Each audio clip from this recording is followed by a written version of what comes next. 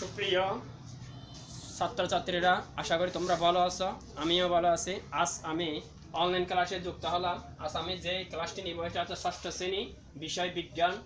আর আমাদের যে অধ্যায় নিয়ে আলোচনা করব, সেই অধ্যায়টা হচ্ছে তৃতীয় অধ্যায়, উদ্ভিদ ও প্রাণীর কোষীয় সংগঠন। তো ষষ্ঠ শ্রেণির বিজ্ঞান বিষয়ের মধ্যে যে অধ্যায়টা হচ্ছে, সেটা হচ্ছে আমি আবার বলতেছি, উদ্ভিদ ও প্রাণীর কোষীয় সংগঠন। তো আজকে আমি এই একটি প্রশ্ন আকারে এখানে প্রশ্নের মধ্যে আলোকচিত্রের মাধ্যমে প্রশ্নটি আঁকলাম। এই আলোকচিত্রের মধ্যে প্রশ্নটি কীভাবে বন্টন হবে সেটা আমরা প্রশ্ন আকারে একটি চিত্রের মাধ্যমে আমরা উপস্থাপন করব আজকে। এই উপস্থাপনের মধ্যে আমি দেখতেছি, প্রশ্নের মধ্যে দেখতেছি, এখানের মধ্যে একটা বড় কোষ গহ্বর আছে, একটা ছোট কোষ গহ্বর আছে, আর মাঝখানে মিডিয়ানের মধ্যে আছে কি? কি? সেন্ট্রোসোম, এবং এর পাশে আছে নিউ- নিউক্লিয়াস, এর পাশে আছে ক্লোরোপ্লাস্ট এবং কোষ প্রাচীর এগুলো কি জিনিস? সেই বিষয় নিয়ে আমরা আজকে আলোকচিত্রের মধ্যে একটু এই অনলাইন ক্লাসের মধ্যে আলোচনা করার চেষ্টা করব। এই কোষ গহ্বরের মধ্যে গঠন ও কাজের একক আছে। সেই সব কোষের প্রজনন কোষ নিয়ে তাদের কোষ গহ্বর বলে। এর মধ্যে আছে কোষ গহ্বর। কোষ গহ্বর আছে, নিউক্লিয়াস আছে, কোষ প্রাচীর আছে এবং সেন্ট্রোজোম আছে এবং বড় কোষ গহবর ও ক্লোরোপ্লাস্ট এবং তারকচিত্রের মধ্যে অবস্থিত কোষীয় অঙ্গাণু ব্যবহার করে আমরা কোষের একটি চিহ্নিত চিত্রের নিচে প্রদর্শন করলাম। এরপর আছে দেখ- দেখতেছি উদ্ভিদের খাদ্য উৎপাদনের ক্ষেত্রে তারকা নিচের ক্লোরোপ্লাস্ট থাকে। এটা কোন ক্লাস থাকে? ক্লোরোপ্লাস্ট থাকে, কোষীয় চিত্রের মধ্যে। এরপর আছে ভূমিকা, এটা আবার আমাদের বিশেষ ভূমিকাও কি? ক্লোরোপ্লাস্ট পালন করে। এর পাশে ক্লোরোপ্লাস্ট অবস্থিত ক্লোরোফিন নামে একটি কণিকা ডাইঅক্সাইড গ্রহণ করে এবং সংশ্লেষণ প্রক্রিয়ার মাধ্যমে আমরা উদ্ভিদের খাদ্য প্রস্তুত করে রাখি। এটা কোথার মধ্যে রাখি আমরা? ক্লোরোপ্লাস্টের মধ্যে থাকে থাকে। এরপর আছে কোষ জীবের প্রজনন অংশ নেয়ার তাদের জনন কোষ বলা হয়।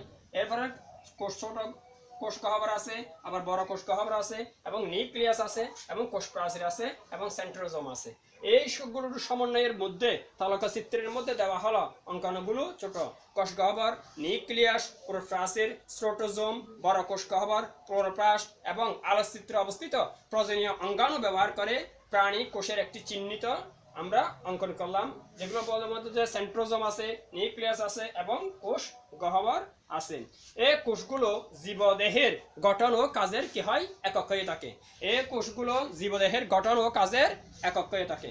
আবার এখানের মধ্যে কোষ গহ্বরের মধ্যে একক হওয়ার পরে যেসব কোষ জীবের প্রজনন অংশ নেই। তাদের জনন কোষও বলা হয়। যেগুলো প্রজনন করে অংশ নেই তাদেরকে কি বলা হয়? জনন কোষও বলা হয়ে থাকে এরা জীবের দেহ গঠনে অংশগ্রহণ করে না। এরা কিন্তু একটা জীবকে অংশগ্রহণ কি? জন্মগ্রহণ করতে অংশগ্রহণ করে না। শুক্রাণু ও ডিম্বাণু হলে জনন কোষ হতে হবে। তাহলে আমাদের জনন কোষ হবে কি? শুক্রাণু হতে হবে, একটা ডিম্বাণু হতে হবে। শুক্রাণু এবং ডিম্বাণু মূলে জনন কোষ হয়ে থাকে। জনন কোষের ক্রমোজোম সংখ্যা দেহ কোষের ক্রমোজোম সংখ্যা অর্ধেক হয়ে থাকে। তাহলে আমি আরেকটা এখানে পয়েন্ট পেলাম কি? জনন কোষে ক্রোমোসোম সংখ্যা এবং দেহ ক্রমসংখ্যার অর্ধেক থাকবে শুধু। তাই জনন কোষকে হ্যাম্প্লয়েড কোষও বলা হয়। আর তারা আবার জনন কোষের একটা নাম দেওয়া আছে। এটা হচ্ছে কি? হ্যাম্প্লয়েড কোষও বলা হয়। তো আজ আমি এই অনলাইন ক্লাসের ষষ্ঠ শ্রেণির বিজ্ঞান বিষয়ের তৃতীয় অধ্যায়ের মধ্যে উদ্ভিদ প্রাণীর কোষের মধ্যে এই একটি চার্ট আকারে আলোকচিত্রের মাধ্যমে যেই প্রশ্নগুলো তোমাদেরকে সমাধান করলাম, এটা তোমরা ঘরের মধ্যে ভালো করে বোঝার চেষ্টা করবা এবং যদি কোনো প্রশ্ন থাকে এটা লিখে রাখবা এবং আগামী অনলাইন ক্লাস করার সময় তোমরা এই পরবর্তী এই অধ্যায়ের আর পরবর্তী যে কোয়েশনগুলো আছে, সেই কোয়েশনগুলো আমরা আবার পুনরায় উত্তর দেওয়ার জন্য চেষ্টা করব। ধন্যবাদ, ভালো থাকিও।